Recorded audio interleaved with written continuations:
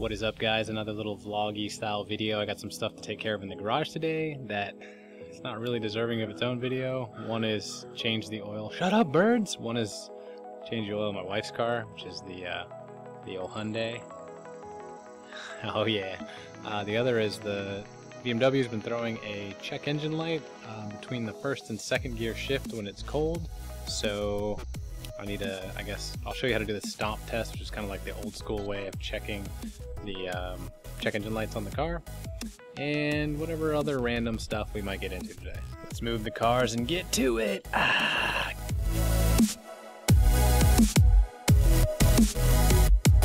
So I uh, went to Walmart today to buy a good old oil and filter, and I was there, and I saw that they had creepers and I don't have a creeper. A little bit skeptical though. I decided to go with it. It was only like 20-ish bucks, but it's called a two-piece creeper. It looks like it splits in half in the middle. I don't really know why, what the reason is besides, hey, it fits in this box easier. But before we get started, I'm gonna put it together, see how it works.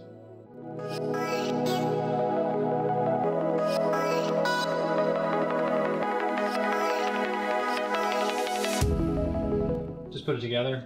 Literally, that's how it came out of the box, all that dirt and dust and filth all over it.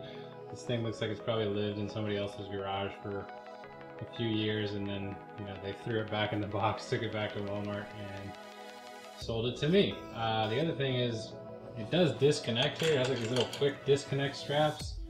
The only pure reason I can see for it is maybe that it you know, you can pull it apart and store it easier, I guess, because if you look at it, there's three casters on each piece, but like that caster and this caster don't line up. It's not like you can like pull half of it off and then use it like as like a little butt scooting thing around the garage. Like eh, you got three wheels on each side after you pull this apart. It's not going to do nothing, anything for you.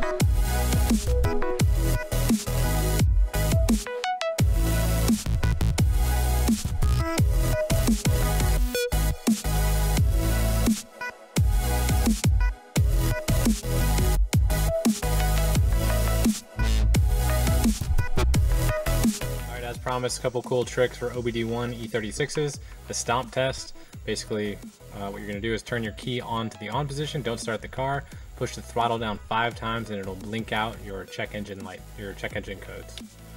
So on, one, two, three, four, five. Check engine light blinks once to let you know it's ready and then it'll start blinking out the codes. One, one, two. One, two. One, two, three, four, five, six. What that tells me is that code 1226 has been thrown, which is the second knock sensor. Um, apparently it's pretty common, it goes bad and, and causes just a blip. Check engine light just flicks once between first and second. But that's the stomp test. Alright, cool test number two. What we're to do is push in our trip meter and turn the position to the first position. Push this in.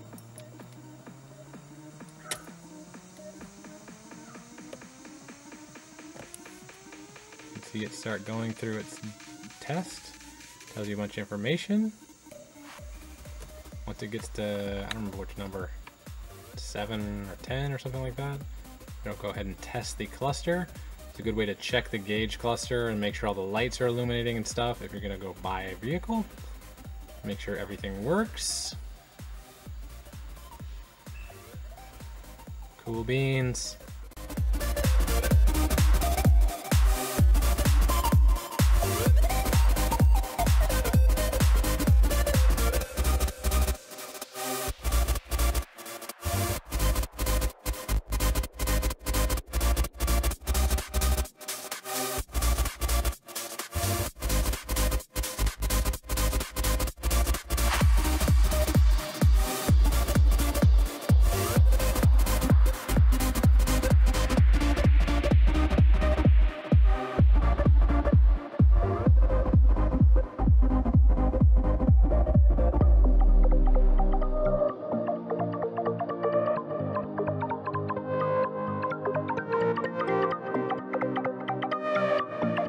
Filmed an outro on a tripod, but I forgot to turn the mic on because I'm a dummy. But Hyundai's done.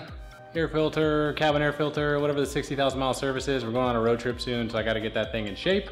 Uh, M3, the seat is in, all buttoned up and ready to go. Video out pretty soon with part two of the seat install.